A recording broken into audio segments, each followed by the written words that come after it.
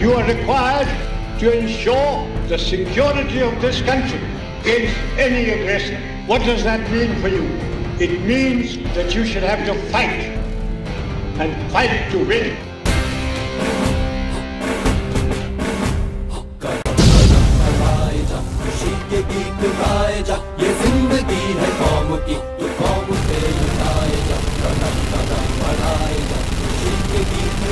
ये जिंदगी है